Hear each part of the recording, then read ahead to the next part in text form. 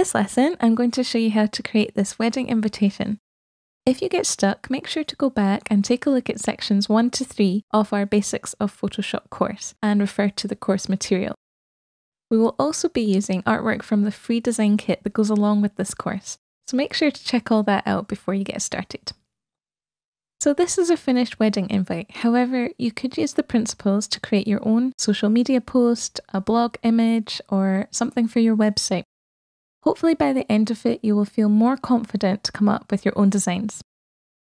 So I'm going to show you how I created this right from the very start. First of all, go up to File and then New. And we're going to create a new document that's going to be custom. So I want to work in inches and I want to choose 5 inches wide and 7 inches high. And this is quite a standard wedding invite design size. You can go ahead and type in your own custom sizes, but I'm going to stick with this for just now. I'm going to have portrait orientation, 300 pixels per inch, and at the moment I'm going to stick with RGB color. Then hit create. The first thing I want to do is add a pattern background to my canvas. To do that, I'm going to add an adjustment layer.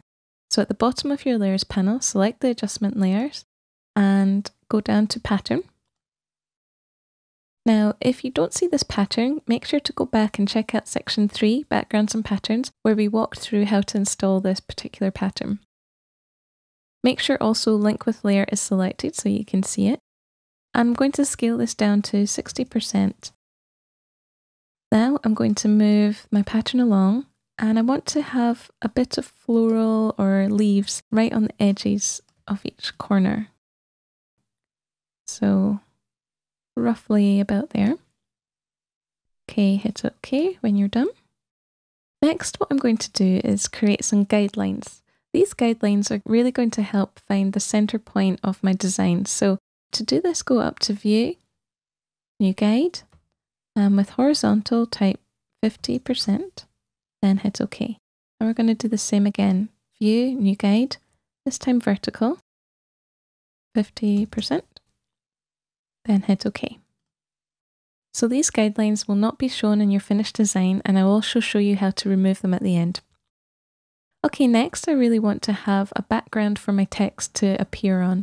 So I'm going to create a rectangle for that. Go over to your toolbar and select the rectangle tool if you don't see this, right click it and it's the top one here. Click on that. And I don't want too much of a floral border on this one, so I'm going to start my rectangle about here and drag and drop it until you feel got something quite nice. Okay, and now I'm going to use my move tool and with my guidelines on, as you can see, it turns pink. So when you see this, you know that your design is going to be centered. So you can let go. Next, this color is horrible, so I'm going to change that. Go to your shape tool again and up to fill. And in your swatches, right next to white, you should have one that's 10% grey. Click on that. And then also next to it, make sure that your stroke has no fill to it. I'm going to click on my move tool, and here we have the background for our text. So let's write some text on this now. Go over to your text tool in the toolbar, hit T on your keyboard for short, and move your cursor to the center of the vertical guideline. Just click on that, and now I'm going to start typing.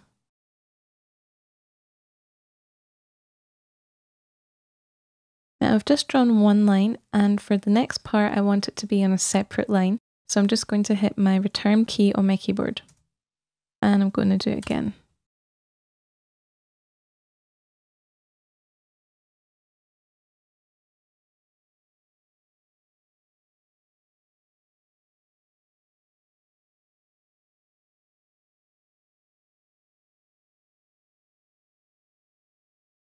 Okay, so that's me done my text. Notice that every time I wanted a new line, I hit enter on my keyboard. So when you're happy with the composition, Make sure to hit this tick at the top here. And don't worry, we can go back in and change this. I'm going to use my move tool now to move the text down. And again, my guidelines are going to help as they snap it into the center. So roughly about here. Okay, next I'm going to add some artwork. And I'm going to be using artwork that we created in our project one, and that is our floral arrangement.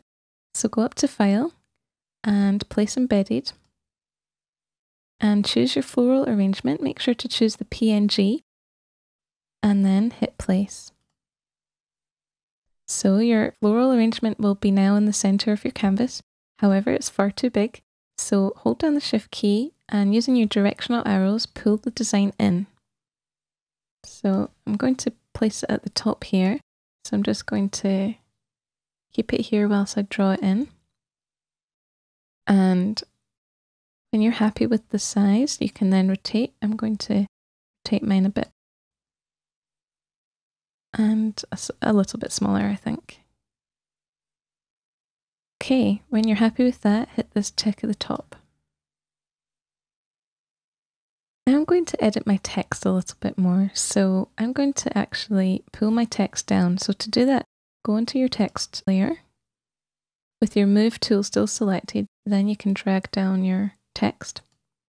Okay, next I would like to highlight where the names are. I'd like them to stand out a little bit more.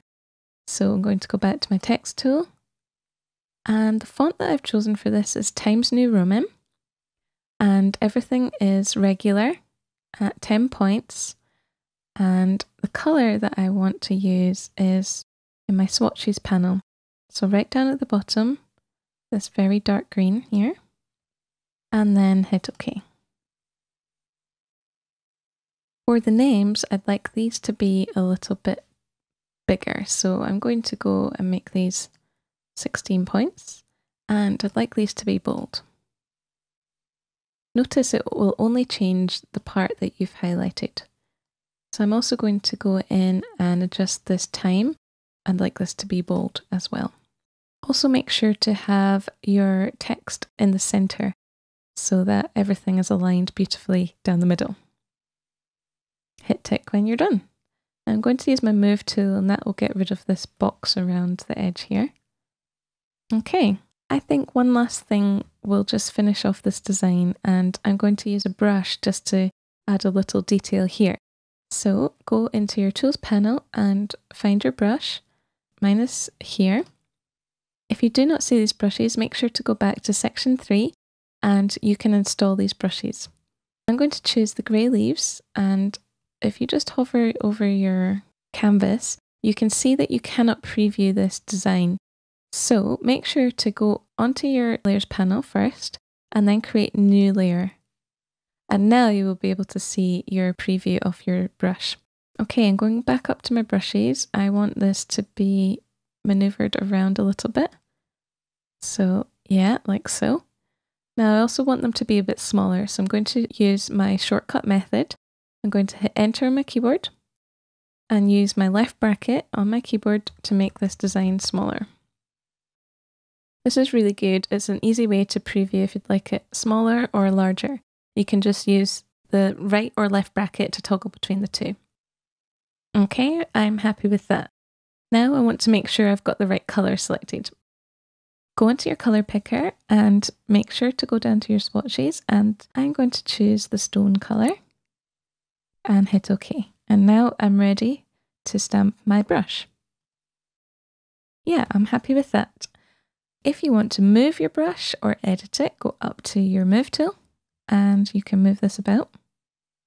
As you can see, my guideline is working really nicely. It's snapping into place so I know that my brush is centered.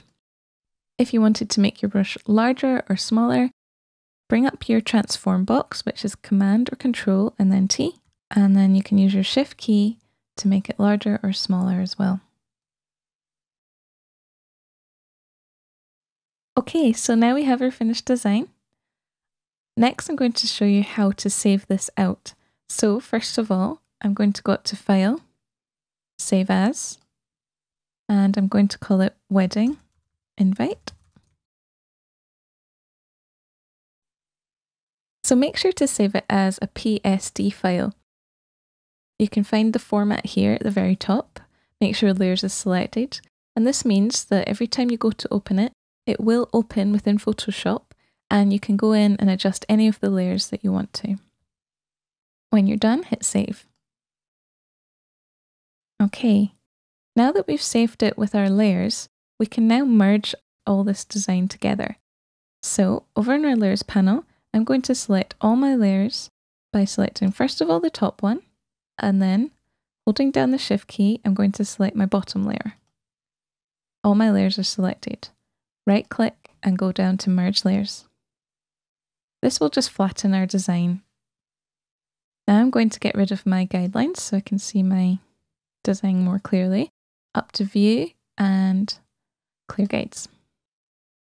Now I'm going to save this out as a JPEG file, save as, and this time go into format down to JPEG and then hit save. Here you have different options. First of all, it's asking for the quality and we can choose how small our file we want it to be. If we make it small, in the preview tick box, you can preview how your design will look and you can see it's lost some of the quality. So we don't want it to be too low, but alternatively, if we make it too high, if you're using it for a website, you don't want your file size to be too big, otherwise it might slow your website down.